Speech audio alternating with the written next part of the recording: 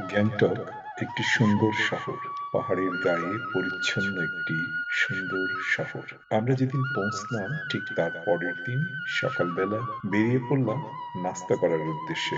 সকালের নাস্তা হোটেলে না করে বেরিয়ে পড়লাম। বাইরে কোথাও নাস্তা করে নেব। শীতের আমেজ, আগস্ট মাস, সেদিন ছিল তেইশে আগস্ট। বেশ ঠান্ডা। আগের দিন বৃষ্টি পড়েছিল। সকালবেলা কেবল লোকজনের চলাফেরা শুরু হয়েছে।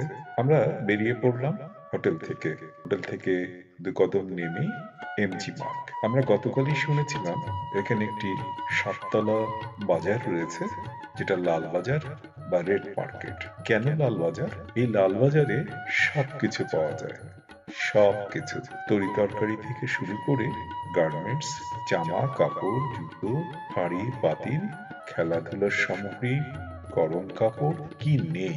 তাই আমরা আমরা রওনা হয়ে গেলাম লালবাজারের উদ্দেশ্যে। কিছু দূর যাওয়ার পরেই আমরা পেয়ে গেলাম লালবাজার। এমজি মার্গ থেকে সিঁড়ি বেয়ে হাজার খানেক সিঁড়ি হবে। সিঁড়ি বেয়ে নামতেই হাতের বাদিকে এই সেই লালবাজার। ঢুকতেই টাটকা শাক সবজি, বাজারে দেখতে পেলাম সেই পটেল, টমেটো করল্লা আদা, পেঁয়াজ, রসুন, কত কি। সবই এ যেন মনে হলো আমার বাংলাদেশের কোনো বাজারে এসে পৌঁছে গেছে। এই সেই লাল বাজার, বেশিরভাগ দোকানপাটই বন্ধ ছিল। সবেমাত্র খুলতে শুরু করেছে। আমরা দেখছিলাম ঘুরে ঘুরে সিলভারের হাড়ি পাতিল থেকে শুরু করে কি নেই, সব আছে এই মার্কেটে। এই রেড মার্কেট বা লাল বাজারটি প্রসিদ্ধ হওয়ার পেছনে বড় কারণ হচ্ছে এখানে অনেক সস্তায় জিনিস পাওয়া যায়। ধরে নিন, আপনি এমজি মার্কের দুপাশে যে বড় বড় শপিং মলগুলি আছে, সেখানে যেটি কিনবেন দু হাজার রুপিতে, সেটি লালবাজারে পেয়ে যাবেন এক হাজার রুপিতে। তাই যারা একটু খোঁজ খবর রাখেন কোথায় সস্তায় পাওয়া যায়, তারা কিন্তু লালবাজার যেতে ভুল করে না যেভাবেই হোক লালবাজার খুঁজে নেন। এবং লালবাজারে যারা টুরিস্টরা তারা তো সবজি কিনতে যান না নিশ্চয়ই। তারা যান লালবাজার থেকে সুজিনির অথবা গরম কাপড় কিনতে। যাই হোক, আমরা ঘুরে ফিরে নেমে এলাম। আমরা দেখছিলাম স্কুলে যাচ্ছে ছেলেমেয়েরা, অফিসে যাচ্ছে, কেউ কেউ তারা কাজের সন্ধানে দাঁড়িয়ে আছে। আমরা খুঁজে পেলাম একটি ছোট্ট হোটেল।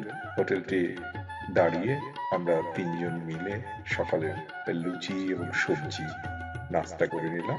বেশ ভালোই লাগছিল। সেই নাস্তা নাস্তা করে আমরা বেশ শরীরে একটু এনার্জি ফিরে পেলাম এবং সেই লালবাজার থেকে আমরা আবার সিঁড়ি দিয়ে উপরে উঠতে শুরু করলাম। আর এই যে আশেপাশে যত লোকজন দেখছি আমরা লালবাজারের সামনে যারা দাঁড়িয়ে আছে, তারা আসলে ডে লেবার তারা আসলে কাজ করছে। কাজে যাবে, অপেক্ষা করছে কাজ, কাজের সন্ধানে তারা দাঁড়িয়ে আছে সেখানে নানা বয়সের মানুষজন এবং সবেমাত্র যেহেতু শহরটি ধীরে ধীরে জেগে উঠছে, মানুষের সংখ্যা বাড়ছে এবং তারা কাজের জন্য অপেক্ষা করছে। এবার আমরা লালবাজার দেখে সকালের নাস্তা সেরে ঠিক এমজি মার্কেট দিয়ে আবার সিঁড়ি বেয়ে উঠতে শুরু করলাম। আমাদের ছোট কন্যা স্রোতস্বিনী, সে তো সবার আগে দৌড়ে দৌড়ে সিঁড়ি বেয়ে উপরে উঠছিল। আর আমাদের পরিবারের সবচেয়ে প্রভাবশালী সদস্য সহধর্মিনী মহমণি, সে অনেকটা ক্লান্ত, এই সিঁড়ি বেয়ে উঠতে নামতে বেশ ক্লান্ত। যাই হোক, আমরা দেখছিলাম সেখানে মানুষদের কষ্ট, বিশেষ করে যারা বিভিন্ন মালামাল পরিবহন করে দিন মজুর যারা, তারা অনেক পরিশ্রম করে, সেই পিঠে করে বড় বড় আলু, চা বস্তাগুলি তারা পরিবহন করে, হঠাৎ করে দেখতে পেলাম পাশে একটি মুসলিম হোটেল। দেখে বেশ ভালো লাগল। হান্ড্রেড পার্সেন্ট হালাল ফুড পাওয়া যায়।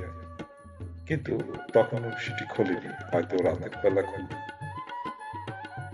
যাই হোক, আমরা ধীরে ধীরে আবার উঠে এলাম এমজি মার্গের পথে।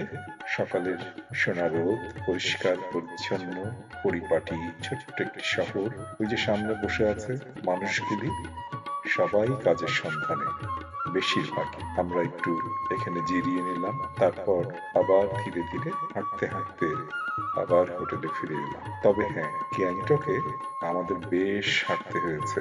যখন আমরা শহরে ঘুরেছি, তখন একরকম, কিন্তু যখন যখন আমরা সাইট সিং এ গিয়েছি, আশেপাশের বিভিন্ন জায়গা ঘুরতে গিয়েছি, তখন আমরা হয়তো রিজার্ভ গাড়ি নিয়ে ঘুরেছি, কিন্তু এমজি মার্গ বা আশেপাশে যদি যেতে হয়, কাছাকাছি, তখন আমরা পায়ে হেঁটেই গিয়েছি। বেশ ভালো লেগেছে।